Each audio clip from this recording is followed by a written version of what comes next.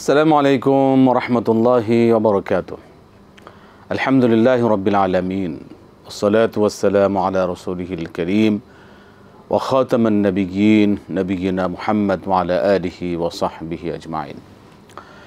সুপ্রিয় দর্শক, পৃথিবীর যে প্রান্ত থেকে আপনারা এটেন বাংলা সরাসরি ইসলামী সাওয়ালা জব এই প্রশ্ন উত্তর পর্বে শরিক হয়েছেন সকল আন্তরিক মোবারকবাদ জানাচ্ছি। প্রিয় দর্শক আপনারা যে কোনো অজানা বিষয় জানতে ইসলামিক শরিয়ার বিভিন্ন মাসালা সম্পর্কে, আপনাদের এবাদত সম্পর্কিত সার্বিক বিষয়ে আপনারা জীবন ঘনিষ্ঠ যে কোনো বিষয়ে সরাসরি আয়োজনে প্রশ্ন করে ফোন করে আপনি আপনার প্রশ্নের জবাব জানতে পারবেন। আমি আছি আপনাদের সাথে কারিক এম ফিরোজ। প্রিয় দর্শক, আপনাদের সরাসরি প্রশ্নের জবাব দেওয়ার জন্য আমাদের সাথে আজ স্টুডিওতে উপস্থিত আছে আমাদের সকলের শ্রদ্ধেয় বিশ্ববরের আলিমুদ্দিন শেখুল্লাহ আল্লাম সৈয়দ কামালুদ্দিন জাফরি হাফিজাহুল্লাহ। আসসালামু আলাইকুম ওরহমতুল্লাহি ওবরাকাতু ওয়ালাইকুম সালাম রহমতুল্লাহ বরকাত আহলেন সালেন শেখ। আপনাকে স্বাগত। দর্শকদের সরাসরি আয়োজন ওয়া ইয়াক হাসান তু মাশাআল্লাহ। প্রিয় দর্শক একটি বিষয় আপনাদের সহযোগিতা চাচ্ছি আমরা। আপনারা যারা আমাদের সাথে সরাসরি ফোনে কথা বলবেন প্রশ্ন করবেন আপনি যে টিভি সেট টেলিভিশন দেখছেন টেলিভিশন ভলিউমটা কমিয়ে আমাদের সাথে আপনি কথা বলবেন এই অনুরোধ রাখছি আপনাদের সাথে। আমরা যাচ্ছি আজকের আয়োজন শেখ আমরা শুরু করতে পারি ইনশাআল্লাহ। জি আলহামদুলিল্লাহ। বিসমিল্লাহ জি কে আছেন? কি প্রশ্ন করবেন বলুন। সালামু আলাইকুম। আসসালামু আলাইকুম হুজুর। আসসালামু আলাইকুম সিকাম থেকে বলছিলাম। ওয়ালাইকুম সালাম রহমতুল্লাহ জি বলুন কি প্রশ্ন? হ্যাঁ, হুজুর আমার দুটো প্রশ্ন। প্রথম প্রশ্ন হলো যে আমরা যে জাকাত দিতেছি ওই জাকাতের যে আটটি খাত আটটি খাতের মধ্যে আমি ভুলে এতিমখানা দিয়ে ফেলছি এটা আমার সব হবে কিনা? আচ্ছা আচ্ছা। আর দ্বিতীয় প্রশ্ন? আর দ্বিতীয় প্রশ্ন হলো আমরা যে কোরআন তালাত করি কোনটা কোন সুরাটা পড়লে বেশি ফজিলত ওই সুরাগুলোর নামটা বলবেন আর সুরা যে মূল পড়লে এই কবর আজাব মাফ হয় এটা কি প্রতিদিন পড়তে হবে না মাঝে মধ্যে পড়লে হবে? আচ্ছা ঠিক আছে। সুরা মুলকের ফজিলত তাই তো? হ্যাঁ জি ওয়ালাইকুম সালাম রহমতুল্লাহ বরকাত। আমরা আরও দর্শক লাইনে আছেন শেখ আমার আর একটি প্রশ্ন নিয়ে নিই আমরা। জি দর্শক কে আছেন বলুন। সালামু আলাইকুম। হ্যালো? সালামু আলাইকুম। ওয়ালাইকুম আসসালাম। জি বলুন কি প্রশ্ন? জি বলুন কি প্রশ্ন আপনার কি জানতে চাচ্ছেন? জি। নামাজের আগে আরবিতে দোয়া করা হয়। আমার প্রশ্ন বাংলাতে দোয়া করা যাবে কিনা? শেষ বৈঠকে? আবার হলো দোয়াতে ছেলে মেয়ে বা অন্য কারোর জন্য লেখাপড়া চাকরি বাকরি অসুখ ইত্যাদির জন্য দোয়া করা যাবে না যাবে কিনা? আচ্ছা চাওয়ালার জি জি জি চাকরি বাকরি চাওয়ালার কাছে সব বিষয়ে। জি জি ধন্যবাদ। জি শেখ, আমরা শুরু করতে পারি আজকে ইনশাল্লাহ আজ বিসমিল্লাহ, শুরু করতে পারি। যে প্রশ্ন হচ্ছে যে, জাকাতের যে আটটি খাত এতিমখানায় উনি দান করেছে সেটা সেটাকে জাকাতের মধ্যে পড়বে কিনা? বিসমিল্লাহ, আমরা শুরু করব ইনশাআল্লাহ। আলহামদুলিল্লাহ আলিহি আবিল্লাহ এতিমখানায় জাকাত দিলে জাকাত আদায় হবে কিনা? এটা হবে। কারণ এতিমদের কোনো অভিভাবক নাই। তারা মুরব্বিহীন।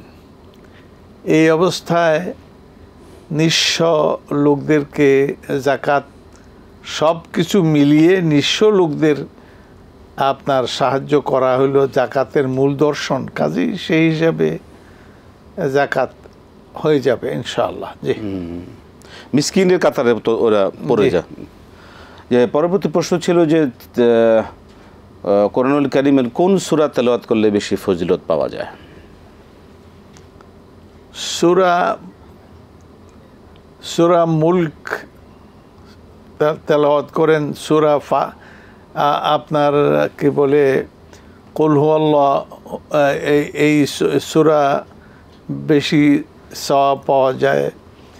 এমনিভাবে সুরা ইয়াসিন তেলাওয়াত করেন। এগুলি হলো বেশি সওয়াবের।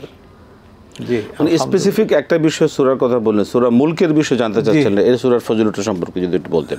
এই সুরা মুল্ক আপনার মৃত্যুকে সহজ করার জন্য। সুরা মুলক যারা নিয়মিত পড়েন ইনশাআল্লাহ তাদের মৃত্যু সহজ হবে ইনশাআল্লাহ। আরেকটা হাদিস এরকম আছে কিনা যে যারা সুরা মুল্ক নিয়মিত তেলাওয়াত করবে কবর রাজাব তাদেরকে আল্লাহ পাক ক্ষমা করে দিবেন তা- তো হতেই পারে জি জি পারে। জি। আলহামদুলিল্লাহ আল্লাহ পাক আমাদের কবুল করুন। শেষ বৈঠকে সলাতের শেষ বৈঠকে কি আরবি দোয়ার সাথে বাংলা দোয়া কি করা যাবে? সালাত বাণী দোয়া। রাইট আর দোয়া আপনি সেই দোয়া, আরবিতে দোয়া পারেন না, আপনি বাংলায় দোয়া পড়লে আলহামদুলিল্লাহ কোনো অসুবিধা নেই, ইনশাআল্লাহ। আলহামদুলিল্লাহ, শেখ, পরবর্তী প্রশ্ন হচ্ছে যে আমরা আল্লাহর কাছে কি আমাদের জীবন ঘনিষ্ঠ যে বিষয়গুলো, যেমন সন্তানের চাকরি বাকরি, সংসারের আয় উন্নতি, এই বিষয়গুলিকে আমি আল্লাহর কাছে খোলাখুলি সেভাবে চাইতে পারি কিনা? রব্বানা আতেনা ফিদ দুনিয়া হাসানা অফিল আখরাতে হাসানা। দুনিয়াতে আমার দুনিয়া সুন্দর করেন আখেরাতে সুন্দর করেন। সুতরাং দুনিয়া সংক্রান্ত যে সমস্ত বিষয়গুলো মানুষকে দুনিয়াতে শান্তিতে রাখে উন্নত করে এই সংক্রান্ত দোয়া আপনি করতে পারেন। আখেরাত তো আছেই জি। মানে দুনিয়ার যে কোনো প্রয়োজন আল্লাহর কাছে। করাটাই সবচেয়ে। আহসান শেখ বারাকাল্লাহ ফিক। আমরা অনেকগুলো প্রশ্ন জবাব জানলাম। আমরা যাব আবারও দর্শকদের সরাসরি প্রশ্নে। দর্শক কে আছেন বলুন। আসসালামু আলাইকুম। ওয়ালাইকুম সালাম ও রহমতুল্লাহ। হুজুর আমি ধরমপাড়া সুনামগঞ্জ থেকে ইনুই বলছিলাম জি বলুন ইনুস সাহেব।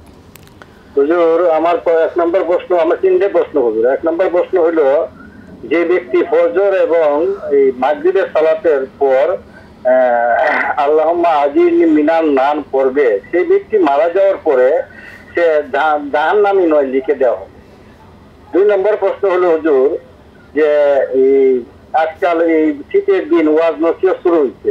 বিভিন্ন জায়গায় দেখা যায় ওলামা কেরামরা যান, মোটামুটি দরদাম করে। ইসলাম এটাকে কীভাবে দেখে? তিন নম্বর প্রশ্ন হইল হুজুর, যে আল্লাহ রাব্বুল আলমিন বলছেন যে এই উলামা কেরাম নাইবে রাসুল। হ্যাঁ এই যে আমার উত্তরসূরি, তা আপনাদের কথা শুনে প্রীত হই, অনেক কিছু জানতে পারি, খুব ভালো লাগে হুজুর।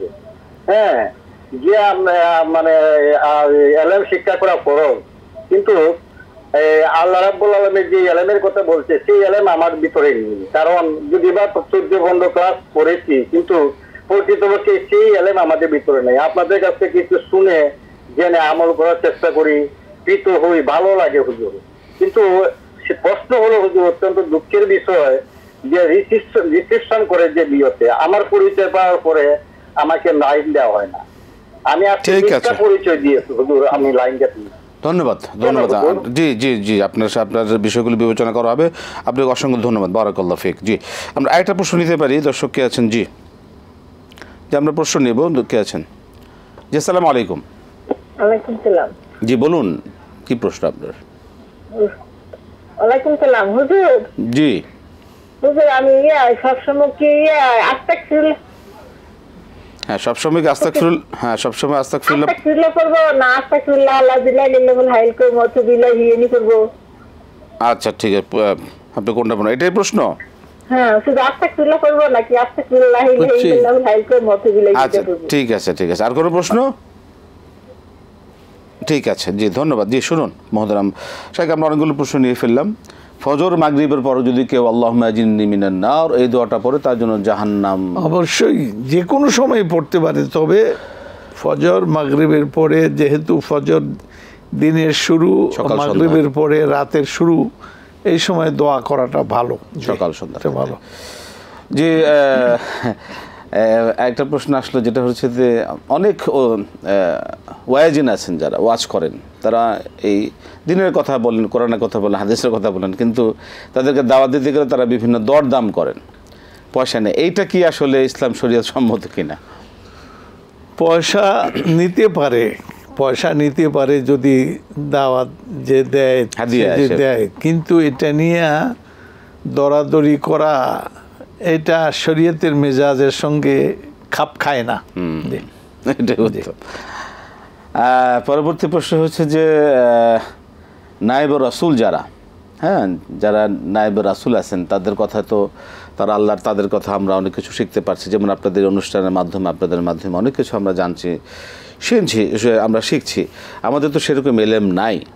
এখন আমরা শেখা জানার জন্য উনি একটা বিষয় বললেন, যেটা হচ্ছে যে আমাদের এখানে মানে অনেকে তো প্রশ্ন করেন, বিভিন্ন রকম প্রশ্ন করে থাকে। অনেকে প্রশ্ন থেকে বেশি কথা বলে থাকে, অনেক সময় আমাদের সময় নষ্ট হয়ে যায়। এই জন্য হয়তো আমাদের যারা প্রশ্ন মানে প্রাথমিকভাবে রিসিভ করেন রিসিভ যারা রিসিভ করেন, তারা হয়তো এই বিষয়টাকে অনেক ক্ষেত্রে এটাকে একটু নিয়ন্ত্রণ করবার চেষ্টা করেন। এই জন্য প্রিয় দর্শকদের কাছে আমি যেটা আমি বলছি, আপনারা এটাকে এটাকে অবশ্যই আমাদের সহযোগিতা করবেন। কারণ এটা অত্যন্ত মূল্যবান একটি সময়, একটি, এই প্রতিটি সেকেন্ড আমাদের এখানে খুব আহ, মূল্যবান করে আমাদেরকে এখানে আমাদের কাজ করতে হয়। সুতরাং আপনাদের যদি এই বিষয়ে আপনাদের যদি সহযোগিতা আপনাদের আপনাদের কামনা করছি আপনারা অবশ্যই সহযোগিতা করবেন। ইনশাল্লাহ আজিজ আপনার আপনাদের বিষয়ে অবশ্যই আমরা খেয়াল রাখব। আপনাকে আমাদের সকলকে কবুল করুন। শাহেক পরবর্তী প্রশ্ন হচ্ছে যে দর্শক জানতে চাইলেন আস্তাক ফিরুল্লাহ আস্তাক ফিরুল্লাহ এটাকে আমি শুধু আস্তাক ফিরুল্লাহ পড়ব না আস্তাক ফিরুল্লাহ হাজির মাতুব ইলাই এটা পুরোটা পড়তে হবে। আমরা আস্তাগফিরুল্লাহ পড়তে পারেন। আস্তাগফিরুল্লাহ মানে আমি আল্লাহ আল্লাহর কাছে আমি গুনাহ মাপ চাই। তো এই আস্তাগফিরুল্লাহ আর আস্তাগফিরুল্লাহ আল্লাহ ইলাহা ইল্লাহু এই পুরা পড়তে পারেন তো আরও বেশি ভালো সুন্দর।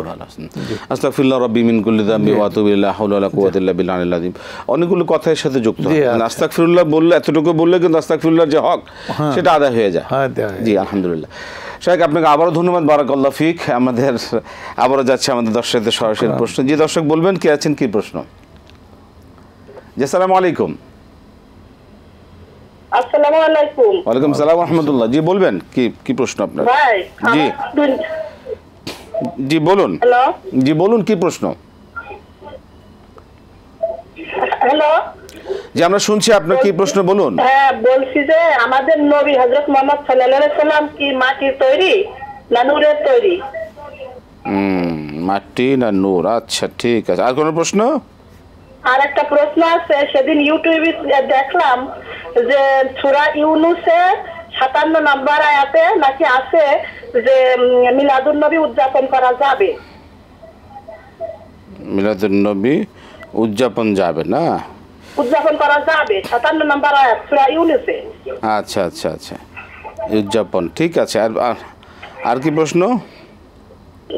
আর হচ্ছে ঠিক আছে।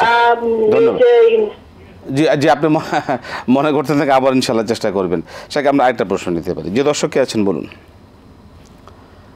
জি আসসালামু আলাইকুম। জি আসসালামু আলাইকুম বলুন কি প্রশ্ন? হ্যালো জি আসসালামু আলাইকুম।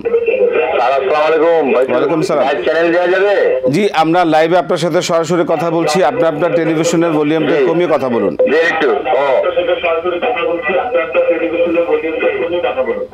জি ওয়ালাইকুম সালাম রহমতুল্লাহ। বলুন কি প্রশ্ন? আমার প্রশ্ন হচ্ছে যে বদরের যুদ্ধে যখন আবু জাহেল কোন সিদ্ধান্ত নিতে পারছিল না তখন শয়তান একজন মুরব্বী সুরাকার রূপ ধরে এসে বলল তোমাদের সিদ্ধান্ত আমি দিয়ে দিচ্ছি। এবং সে সিদ্ধান্ত দিল এবং বলল, যুদ্ধের ময়দানে আমি থাকব। এবং যুদ্ধের ময়দানে সে যখন গেল, তখন মুসলমানের সৈন্যের সাথে জিব্রাইল ইসলামকে দেখতে পারল। তখন সে পালিয়ে চলে যাচ্ছিল। তখন একজন বলল, ভাই, তুমি কোথায় যাও? শয়তান বলল, আমি যা দেখি তোমরা তা দেখো না। সুরা আনপালের ঘটনা। এখন আমার প্রশ্ন হলো কি, শয়তান কি নবীজি রূপ ধারণ করতে পারে কিনা? এইটাই। আর একটা ছোট্ট প্রশ্ন, যে নবীজির যে তিনবার বক্ষ বিজয় হয়েছিল, ওইটা কি আল্লাহর তরফ থেকে এবং ওই প্রেক্ষাপটটা একটু জানাবেন। আসসালামু আলাইকুম। ঠিক আছে ঠিক প্রেক্ষাপট ধন্যবাদ। শাহেক অনেকগুলো প্রশ্ন আমাদের সামনে আমরা আগে করে ইনশাআল্লাহ আজিজ জানব। প্রথম প্রথম প্রশ্ন হচ্ছে যে নবী মোহাম্মদ সাল্লাহ আলী আসাল্লাম কি মাটির তৈরি না নূরের তৈরি এই বিষয়ে? নবী করিম সাল্লাহ আলী ওসাল্লামকে আল্লাহ তালা বলছেন কুল ইন্নামা আনা বাশারুম মিথলুকুম জি। তুমি বলো, ঘোষণা দাও।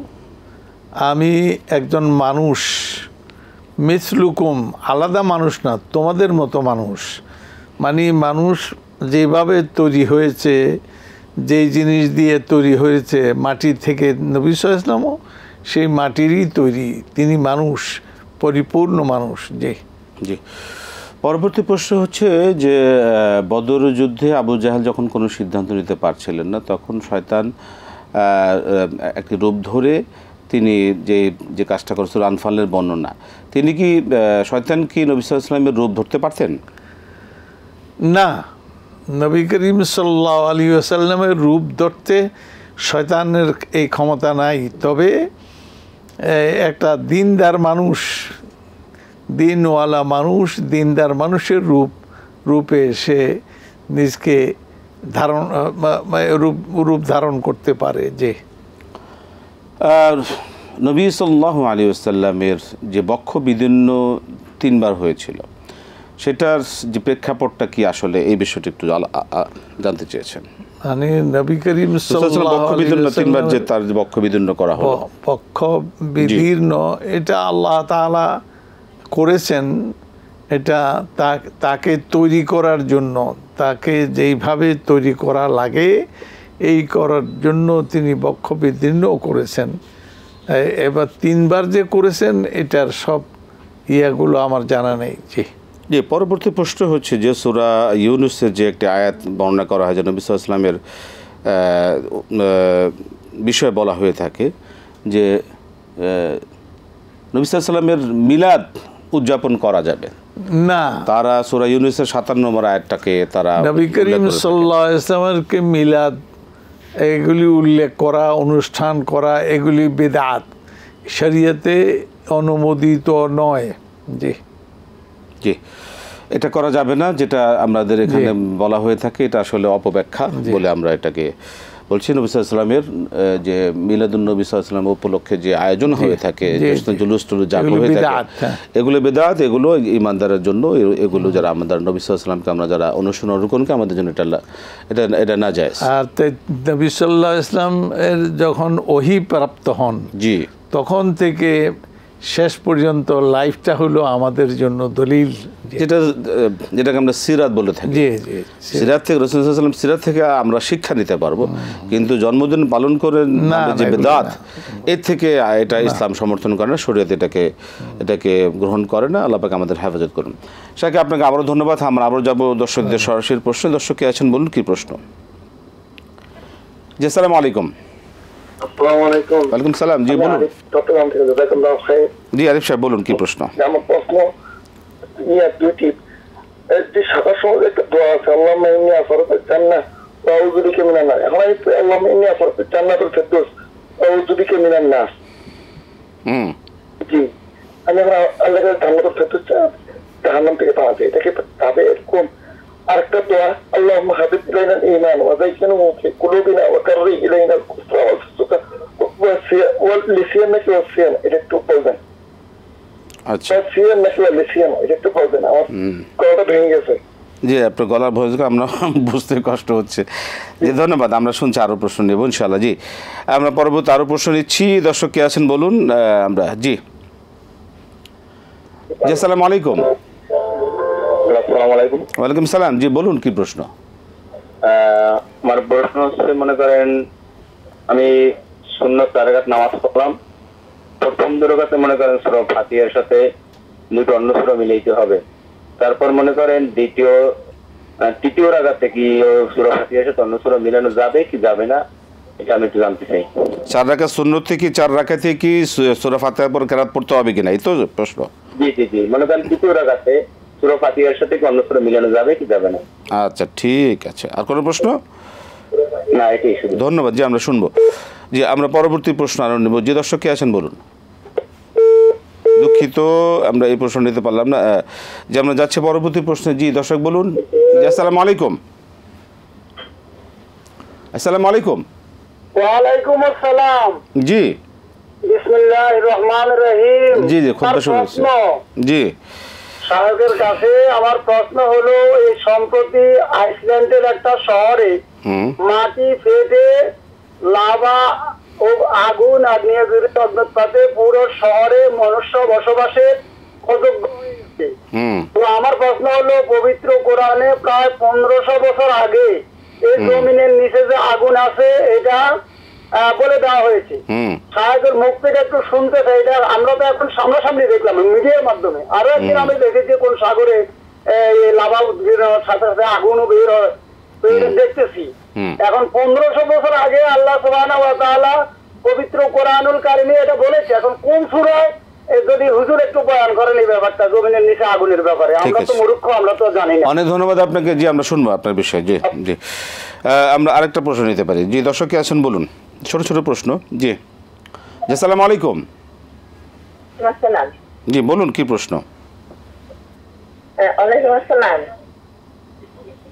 হ্যাঁ জি বলুন। আমার তিনটা প্রশ্ন। একটা প্রশ্ন সফরে ধরেন ভাইয়ের বাসায় গেলাম ঢাকায় বা বাবা মা হাসপাতালে হাসপাতালে আছি তখন ওই অবস্থায় নামাজ তো কসর পড়তে হয় হ্যাঁ? কিন্তু ওই যে জিকির আসলে পড়তে পারব কিনা? এবং বৃহস্পতিবার এবং সোমবার ওই সফররত অবস্থায় রোজাগুলি রাখতে পারব কিনা? সফর অবস্থায় রোজা? আচ্ছা ঠিক আছে। আপনার ভাইয়ের বাসায় গেলাম। হুম। বেড়ানোর জন্য। হুম। ওইখানে ওই আপনার এই যে নকল রোজা রাখতে পারব কিনা স্মৃতি রাস্তার করতে পারব কিনা আচ্ছা জি আর ভাইয়ের হুম আর? আর প্রশ্ন? আর প্রশ্ন হইল আমার ছেলে ব্যাংক এশিয়ায় অডিট আমি আরও দুই তিন নম্বর প্রশ্নটা করছি, প্রশ্নটা করে- বিস্তারিত আমি এটা বুঝতেছি না মানে এই প্রশ্নটা আপনি জি, জি। অডিট অফিসার হ্যাঁ হ্যাঁ হ্যাঁ। ঠিক আছে। সরকারি ব্যাংক না এটা হলো ব্যাংক হ্যাঁ হ্যাঁ হ্যাঁ ওটা। আপনাকে এই বিষয়ে বলা আমি এটা শুনতে পাচ্ছিলাম যে অডিটটা সেটা বৈধ অবৈধ না। আমি আরও বিস্তারিত জানতে চাইছি যে ব্যাংক এশিয়ায় সেটা অডিট অফিসার ঠিক আছে জি। আপনার বিষয় শুনব এই একই প্রশ্ন আপনি অনেকবার করেছেন অনেকবার বলা হয়েছে এরপর আমি ইনশাল্লাহ শাহের কাছ থেকে সুযোগ পাই আমরা জানবার চেষ্টা করব। আপনাকে অনেক ধন্যবাদ জি থ্যাংক ইউ জাজাকাল্লাহ খায়ের। শাহেক আপনার প্রশ্ন জবাব শুনে করবেন ইনশাল্লাহ আজিজ। আল্লাহ মিনা সালুকাল জান্নাত আউদুবিকা মিনান নার। এইভাবে যে দোয়া করা ঠিক আছে কিনা? আল্লাহ মিনা সাল আল্লাহুম্মা আল্লাহ মিনা ইন্নী- সালুকাল জান্নাহ ওয়া আউদুবিকা মিনান নার। জি দোয়া করতে পারেন সুন্দর ভালো। জি। পরবর্তী প্রশ্ন হচ্ছে আমি চার রাকাত বিশিষ্ট সুন্নত সালাদগুলোতে নামাজগুলো থেকে আমি তৃতীয় চতুর্থ রাকাতে আমার কি ক্যারাত পড়তে হবে সুরা ফাতেহার পরে? তো আপনি ওই চার। রাকাত বিশিষ্ট নামাজে প্রথম সুন্নত। আপনি সুন্নত। আপনি প্রথম তো সুরা ফাতেহা পড়বেন এরপরে। সুরা মিলাবেন। কিন্তু পরে দুই রাখাতে সুরা ফাতেহা পড়লেই চলবে যে। সুন্নত স্যার সুন্নত। তো। হ্যাঁ। সুন্নত কি দি ওইটা ওইটা পড়লেই চলবে পড়লেই চলবে। আর মানে আর কেরাত মিলানো জরুরি না। জরুরি না। কিন্তু ফরজে তো জি এটা এটা করাই যাবে না। করা যাবে না। ফরজ সুন্নতে একই অবস্থা করা যেতে পারে। আহসান শেখ বারাকাল্লাহ ফিক। পরবর্তী প্রশ্ন হচ্ছে যে আইসল্যান্ডের কোন এক শহরে মাটি ফেটে লাভা বের হচ্ছে? কিন্তু এই কথার বর্ণনা তো কোরআন কারিমে আল্লাহ রসুল সাল্লাহ আলী ওয়াসাল্লাম পনেরোশো বছর আগেই সে কোরআনের মাধ্যমে আমরা বর্ণনা পেয়েছি। এই বিষয়ে আসলে কোরআন সুন্নার মতো কি আমাদের কাছে তথ্য আমরা আগুন আগুন সব জায়গায় আছে। মাটিতে তলে আছে এই অন্তরিক্ষে আছে সমুদ্রের তলে আছে সকল জায়গায় আগুন। আগুন আল্লাহ তাআলা সব জায়গায় সৃষ্টি করে রেখেছেন। এটা দেখা গেলে এটা এটা কোরআন সুন্নাহ বিরোধী নয় এটা পরে কোরআনের সমর্থিত সমর্থিত। সেক্ষেত্রে অনেকে অনেক অনেক সময় বলা হয়ে থাকে যে জাহান্নামের অবস্থানটা হলো জমিনের নিচে। এই বর্ণনার ক্ষেত্রে কি এর কোনো কোনো মিল রয়েছে কিনা? জান্নাত উপরে রয়েছে কিন্তু জাহান্নাম নিচে রয়েছে জাহান্নাম জমিনের নিচে ঠিকই আছে।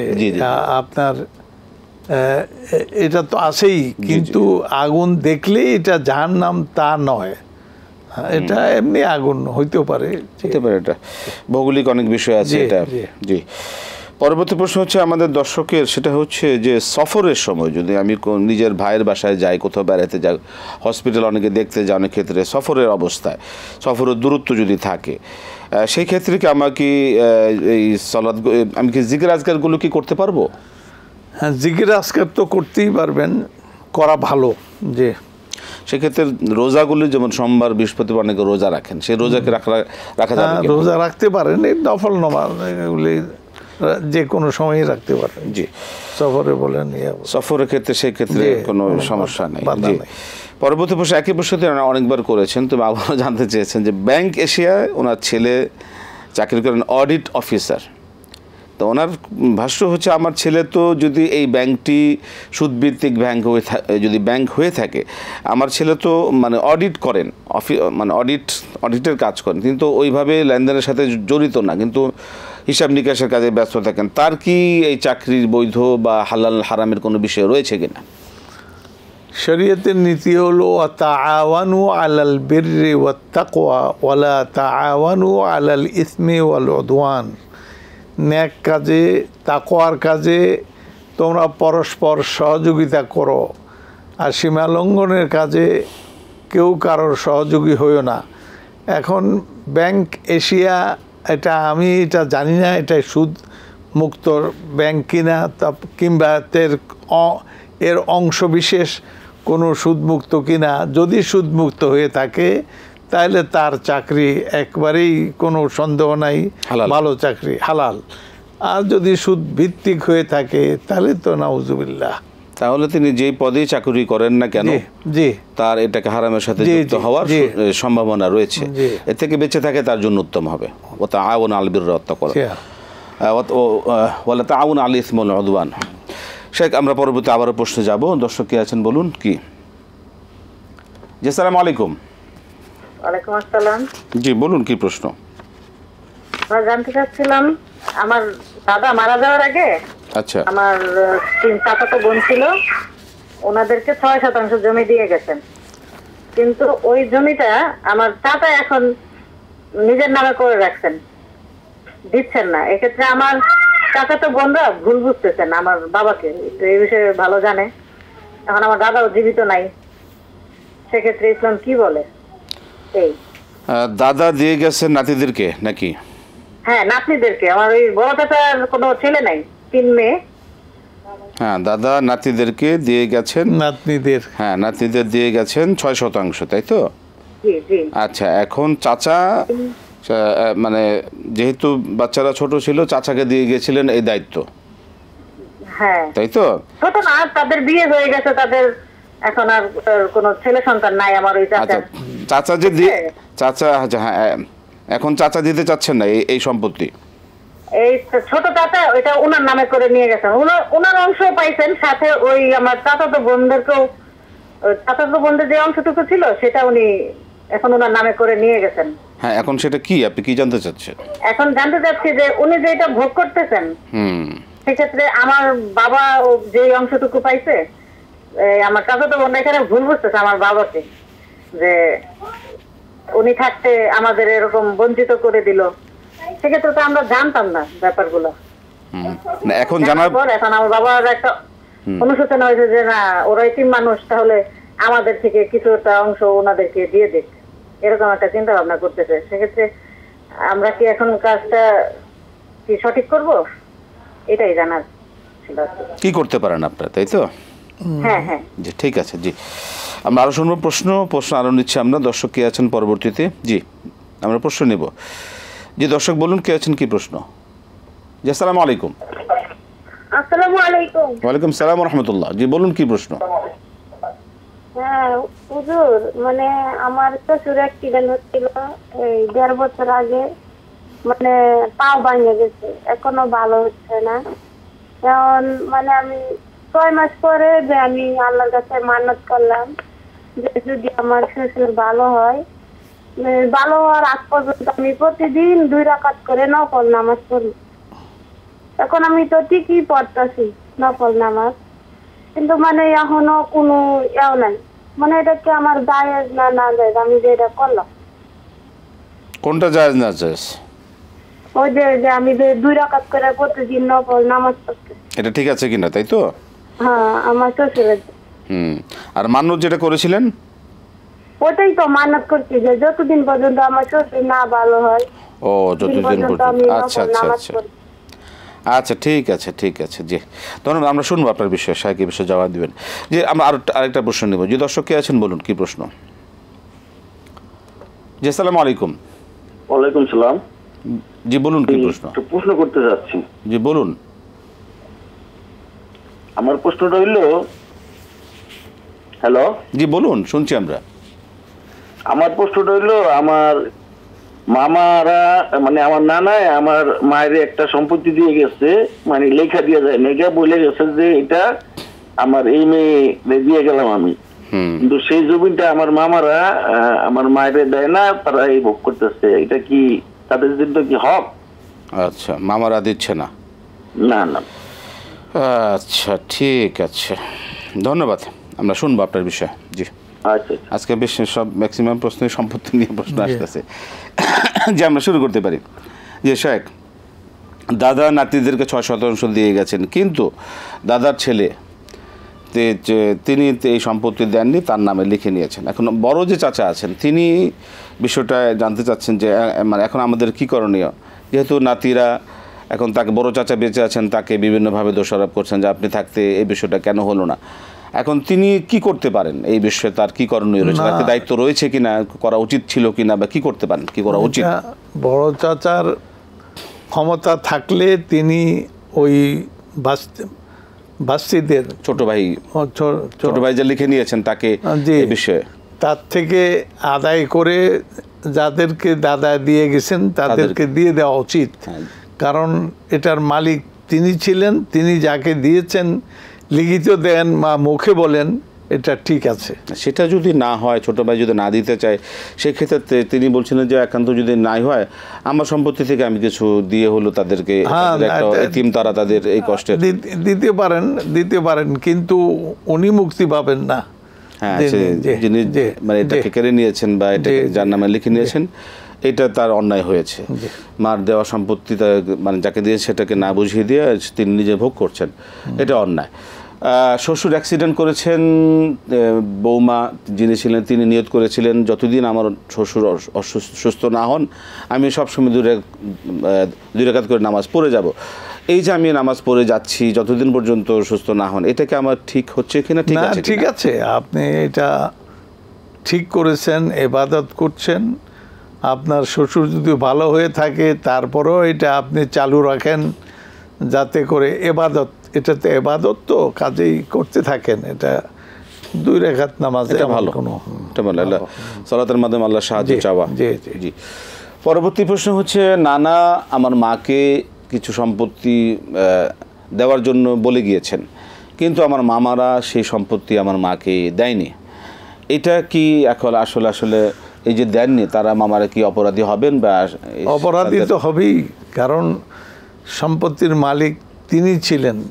আবার তিনি বলে বলে গেলেন যে আমার সম্পত্তি এই বা অমুককে দাও। সুতরাং যাদেরকে বলেছেন তাদের দায়িত্ব হলো তা যেইভাবে বলছেন সেইভাবে দিয়ে দেয়া।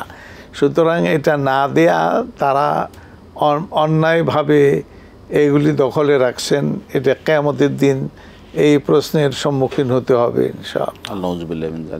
সেক্ষেত্রে কি তিনি যে বলে গেছেন কিন্তু লিখিত দিয়ে যান নাই কিছু? না এটা লিখিত জরুরি না। এটা মুখে বললেও এটা হয়ে যাবে তবে লিখিত হওয়াটা ভালো।